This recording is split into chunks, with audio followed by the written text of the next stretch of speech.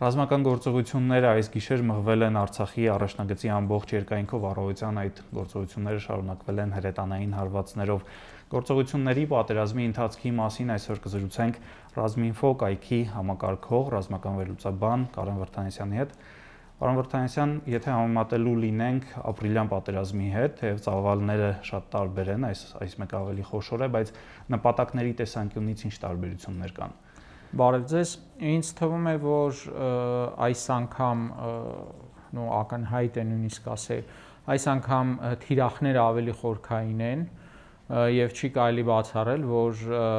ինչ-ինչ եթե հաջողությունների հասնի ինչ որ մի հատվածում, ամեն գնով կփորձեն այդ հաջողությունները ընդլայնել, հակառակորդը կփորձի ինչ որ շատ ավելի լուրջ, շատ ավելի խորքը մտնել, հա եթե ապրիլյանի այդ առաջին հարվածով իրենք ինչ որ կտորներ վերցրին ու հետո կենտրոնացան դրանք պահելու վրա, Իհարկե, եթե կարողանային ճեղքում ապահովել ու առնվազն մինչև սարսանգ նպատակներ ունեին սարսանգի ջրամբար առնվազն հարավում հա խորանալու ցանկություն հաստատ ունեին այս անգամ կարծես թե ավելի մեծ ուժերով, ավելի հեռու գնացող պլաններով եւ գուցե նաեւ հույսեր ունեն, հա, այսպես ասած Ղարաբաղի խնդիրը իրենց օկտին վերջնական լուծելու։ Վերջնական լուծել ռազմական ճանապարհով։ Ռազմական ճանապարհով, այո, եկեք չզարմանանք, հա, մի կողմ դնելով այդ դիվանագիտական սիրուն ձևակերպումները, հիշենք, որ Իլհամ Ալիևի գլխավոր ռազմական խորհրդական գեներալ լեյտենանտ Մահերամ Ալիևը նախոր նախորդին պատերազմի հայտարարեց, որ Ադրբեջանում կա Ադրբեջանում համակարծիք են, որ Ղարաբաղի խնդիրը պետք է լուծվի ռազմական ճանապարհով, հա, եթե այդ ձևակերպումները մաքրենք, թողենք բունեությունը, դա այն է, որ Ադրբեջանում ընդունվել է որոշում պատերազմ սկսել եւ փորձել հարցը լուծել ռազմական ճանապարհով։ Ну, լուծում ասելով հասկանում ենք իրենց ուզած լուծումը։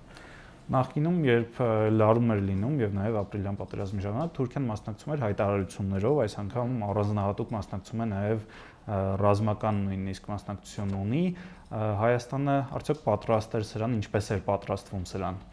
Թուրքիան ես համոզված եմ նախինում մասնակցում էր ոչ միայն հայտարարությունների մակարդակով, այլև օրինակ խորհրդատվության հետախուզական տեղեկություններ տրամադրելով, սպառազինություն տրամադրելով, վերապատրաստելով, որպես հրահանգիչներ էին մասնակցում հաստատ, հա, հա մարտին չեն մասնակցում, բայց ասենք եթե իրենք սպեցնազը հատուկ ջոկատայիներին մարզում են, բնական է որ դա էլ է մասնակցություն, հա, ըստ էության։ Այս անգամ հետաքրքիր է, որ Թուրքիայի մասնակցությունը ոչ միայն շատ ավելի լայն է, այլ ավելի տեսանելի է եւ կարծես թե ավելի ցուցադրական է հասկանանք, հա, նախ զորավարժություններից հետո համատեղ թուրք-ադրբեջանական, դրանք աննախադեպ չէին, բայց աննախադեպ էր այն, որ զորավարժություններից հետո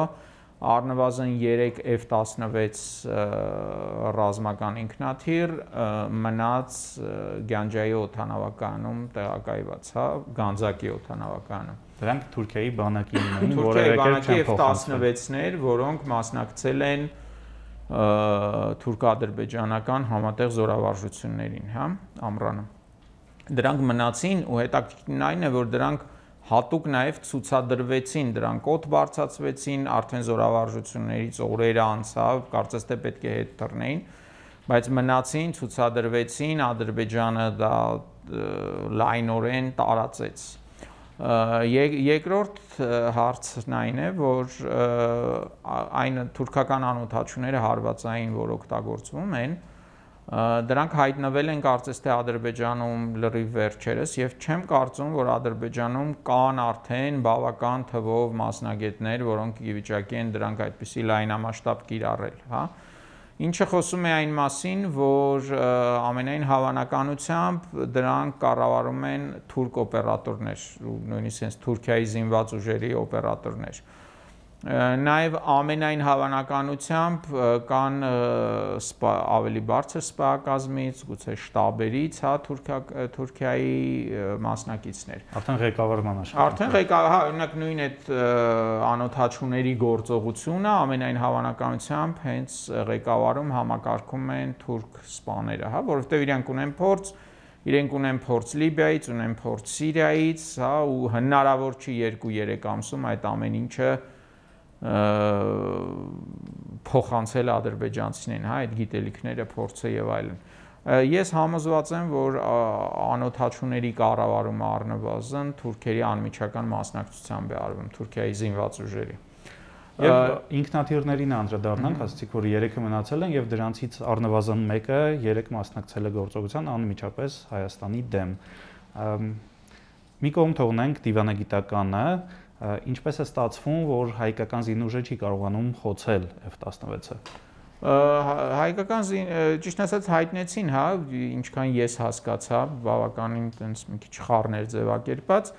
ես այնպես հասկացա, որ ինքնաթիռը մեր տարածք, մեր օթային տարածք մտել է, հա, ճիշտ եմ հասկացել։ Դուք ձեր մոտ էլ է, հա, այդպեսի տպավորությունը հայտնածից։ Դե ես ճիշտ ասած չեմ կարող պատասխանեմ ինչպես է ստացվել, հա, գուցե այնտեղ չգիտեմ, շատ անսպասելի է դա եղել, որտեվ չի սպասվել, որ թուրքական ինքնաթիռը կարող է մտնել։ Ես անկեղծ ասած պատասխան չունեմ այդ հարցին ու ճիշտ ասած 3 Թուրքիան հերքեց հա այդ որ ինքնաթիռը մասնակցել է Ադրբեջանը նույնիսկ հերքեց թուրքական F16 ինքնաթիռների արկայության փաստը իր տարածքում ինչը ну, սենց ասեմ, դժվար է հասկանալ, որովհետև մենք տեսել ենք, որ այդ ինքնաթիռները մտել են, դա ցուցադրվել է։ Մենք տեսել ենք, որ զորավարժությունից հետո մնացել են, դուրս գալը որևէ կերպ չի ֆիքսվել, հա։ Մի խոսքով այստեղ իհարկե շատ հարցեր կան, որոնք ավելի հանգիստ իրավիճակում, երբ այս ամեն ինչը անցնի, պետք է հասկանալ, հա, ինչը ոնց է եղել։ Ա, բայց ցանկաց մարտի նկարագրությունը եթե նայում ենք պաշտպանության նախարարության կողմից հրապարակված F16 վերադառնալ եղել եւ վերադառ արդյոք հիմա տեղը չէ որպեսի Su-30 ինքնաթիռները լինեն օթում եւ մարտերի մասնակցեն այսպես ասեմ, շատ կարծիքներ են հա իմ աշխենչում Su-30-ների, Իսկանդերների եւ այլն եւ այլն, ինձ թվում է ամեն ինչը նախ սա էսկալացիայի մակարդակ է նոր, երկրորդը պետք է հասկանանք օրինակ այս պահին Su-30-ի մասնակցությունը ինչ է տալիս ու որտեղ, հա նույնիսկ անդերին է վերաբերում օրինակ ես առավոտվանից արդեն հար մի քանի անգամ հարցերի եմ պատասխանել հա իսկանդերը պետք է օգտագործել թե ոչ իսկանդերը պետք է օգտագործել եթե կա իսկանդերի համար թիրախ որտեվ նույն այդ իսկանդերները անսպար չեն ամեն մի հարված պետք է առավելագույնս արդյունավետ լինի օրինակ զորքի խոշոր կուտակում զրահատեխնիկայի խոշոր կուտակում օթանավակայան ռազմական որտեղ էլի կա հա կൂട്ടակում ինքնաթիռների տրանսպորտային խոշոր հանգույցներ, որոնց ոչնչացումը կամ խոցելը կդանդաղեցնի կամ կկանգնեցնի ինչ որ զորքերի մեծ տեղաշարժեր, տեղափոխումներ եւ այլն դա ամեն ինչը պետք է արվի ճիշտ պահին եւ այլն, հա։ Այսինքն եթե չի արվում, ուրեմն դեռ ժամանակը Եթե չի արվում, երևի թե դեռ դրա ժամանակը չի։ Բացի դրանից, ասենք հիշենք, հա, որ սուերը համեմատաբար նորեն նոր սպառազինություն են մեր մոտ դեռ աշխատանք պետք է արվի նույն այդ օթաչուների աշխատանքի որոնք շատ ինտենսիվ մարզվում են եթե լսում եք հա ամեն օր բայց ցանկացած դեպքում այստեղ դեռ աշխատանք շատ կա Եվ երեք պաշտպանության նախարարությունը հայտարարեց, որ քանի որ Ադրբեջանը կիրառում է տոս, կիրառում է սմերջ եւ այլ նմանատիպ սպառազինություն, մեջբերեմ ստիպված ենք, այսինքն Հայաստանի պաշտպան զինված ուժերը ստիպված են օգտագործել մեծ մակերեսների վրա կրակային խոցման եւ դրա արդյունքում կենթանի ուժի, ինչպես նաեւ շարժական եւ անշարժ գույքի ոչնչացման մեծ ազդեցություն ունեցող սպառազինության եւ ռազմական տեխնիկայի տեսակներ, որ սպառազինության մասին է խոսքը։ Ну, ըստ նկարագրության օրինակ նմանա սմերջի։ Բայց չէ որ եթե սմերջը արդեն օգտագործվել է, հայկական կողմից էլ սմարթի օգտագործումը դա լրիվ հավասար պայմաններ է։ Չգիտեմ։ Դժվարանում եմ պատասխանել, ել եմ ասում, որոշ ասենք հայտարարությունների համար անհասկանալի լինում են բայց եկեք այս պահին այնուամենայնիվ մի քիչ բան անենք, հա, շտապենք եզրակացություններով, որովհետև շատ լավ գիտեք, որ ռազմական իրավիճակում շատ արագ ամեն ինչ զարգացումներ են լինում, արագ իրավիճակը փոխվում է, լինում է որ ինչ որ հայտարարություն արվում է, բայց արդեն տեղում իրավիճակը փոխվել է, կես ժամ, մի ժամ նույնիսկ եթե խոսում ենք օրվա ընթացքում դիրքեր են ձերքից ձերք անցնում մի քանի անգամ օրինակ նույն էլի այդ թեման այն է թե ինչի օրինակ մի անգամից բոլոր զոհերի անունները չեն տալիս բայց ոչ մեկ վստահ չի, որ այս ինչ էս ինչ մարդում հետ կապ չկա, անպայման պետք է զոհված լինի, գուցե ողջ է կռվում է եւ այդպես բազմաթիվ դեպքեր լինում են, ինչպես տեսակ նույնիսկ կանոնները, որ հրապարակվում էին, հետո մի քանիսի զոհվելու փաստը հերկվեց, բարձվեց վիրավոր է, եւ այլն։ Այս ինֆորմացիոն այս հոսքերի մեջ արագ շատ արագ զարգացումների զուգահեռ մի քանի տեղ զարգացումների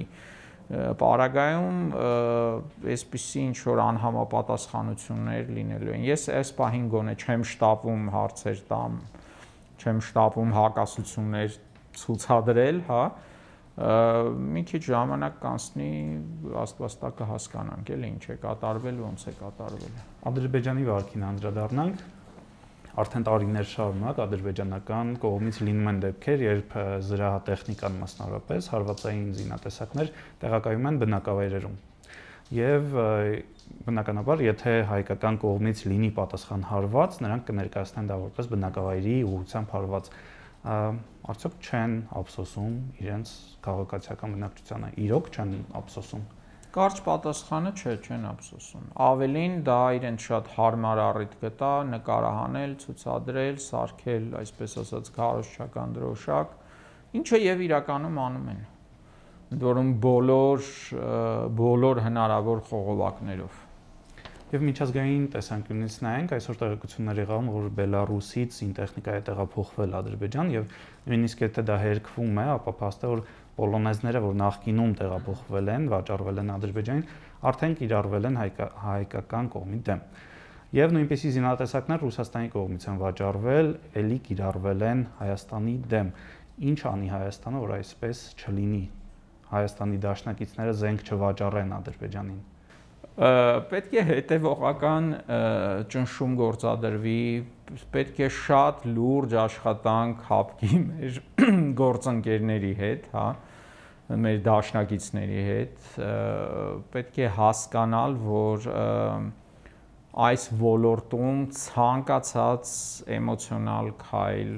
ցանկացած շտապողականություն, ցանկացած սենց անլուրջ մոտեցում, մակերեսային մոտեցում շատ լուրջ հետևանքներ է թողում տարիներով, հա։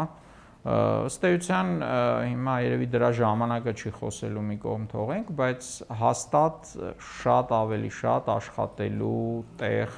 կա մեր դիվանագետների համար, մեր կառավարության համար, հա, այդ ուղությամբ ու նաև եկեք հասկանանք, որ ոչ միայն դաշնակիցների հետ է պետք աշխատել, որպեսզի կասեցնել այդ զենքի մատակարարումները։ Տեսանք, որ Չեխիան հրետանի վաճառեց Ադրբեջանին հրետանային համակարգեր, այս օրերին Իսրայելից անընդհատ ինքնաթիռներ են թռնում, հա, տրանսպորտային ինքնաթիռներ, դե Թուրքիայից էլ է թռնում, ինչպես գիտեք, եւ այլն։ Այս ամեն ինչի հետ, այս ամեն ինչը շատ մեծ աշխատանքի, այսպես ասած, ֆրոնտ է մեր դիվանագետների համար։ Հասկանում եմ, որ օբյեկտիվ պատճառներով շատ բաներ դժվար է անել։ Օրինակ Լուկաշենկոյի հետ շատ դժվար է ինչ որ լեզու գտնել, հա։ Մյուս կողմից, չգիտեմ, դե պետք է ինչ որ բան արվի եւ գործընկերներին նաեւ ներգրավման տեսանկյունից հասկանանք. Հայաստանը ներկայացնում է որ կարիք չկա դեռ. Արդյոք հապկը չպետք է գոնե քաղաքական տեսանկյունից աջակցություն հայտնի եւ երբ է լինելու այն բայ երբ որ կարիք կլինի ներգրավման ճիշտ ասած ավելացնելու բան չունեմ ձեր ասացի, ես համարում եմ, որ ՀԱՊԿ պետք է գոնե քաղաքական հայտարարությունով, հիմա սաստող հայտարարությունով, շատ կոշտ հայտարարությունով ելույթ ունենա, հա, ընդհանրապես Ռուսաստանից, օրինակ Ռուսաստանը մեր դաշնակիցն է, ունենք բազմաթիվ պայմանագրեր, հա, եթե խնդիր կա ինչ որ, ապա պետք է հասկանալ ինչն է խնդիրը եւ այդ խնդիրը լուծել։ Ու գուցե իհարկե շատ լավ կլներ, որ այդ խնդիրները ի սկզբանե չստեղծվեին, հա, բայց լավ կլինի, որ շատ արագ այդ խնդիր, շատ-շատ արագ այդ խնդիրները պետք է լուծվեն։ Եթե հապկին դիմելու կարիք կա, ապա գոնե 102-րդ ռազմաբազան, որ Հայաստանում է գտնվում, ռուսական ռազմաբազան, կարծես թե պետք է արձագանքի, երբ Հայաստանի սահմանների ուղղությամբ հարձակում է լինում ինչու դա չկա այս բային։ Ես կարծում եմ զուտ ռազմական առումով, որ այնուամենայնիվ կան գոտիներ, հա, պատասխանատվության եւ ակնհայտ է, որ Հայաստանում ռուսական ռազմաբազայի խնդիրը դա մեր արևմտյան սահմանի պաշտպանությունն է,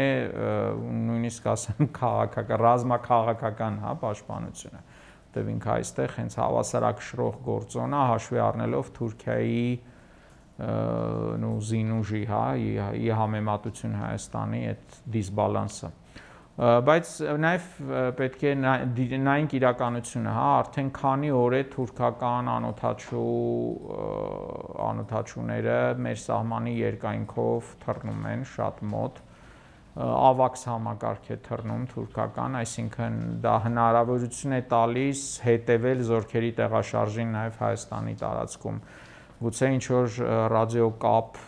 գախտնա լսել, ինչ որ հեռախոսազանգեր հա թեկուս։ Մի խոսքով սա շատ լուրջ խնդիր է, օրինակ 3 մեր սուի խոցումից հետո